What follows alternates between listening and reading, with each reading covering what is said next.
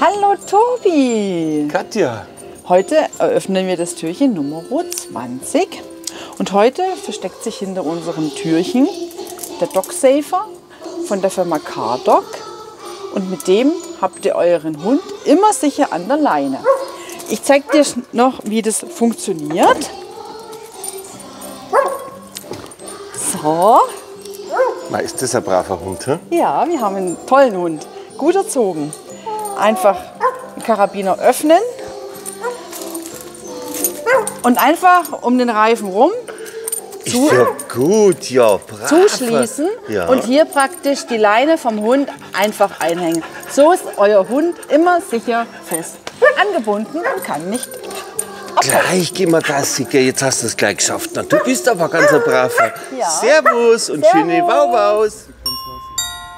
Also ich möchte es ein bisschen drehen dann. Drei, vier Sekunden. Ja, komm, wenn ihr so ein bisschen einen Move hat, schau.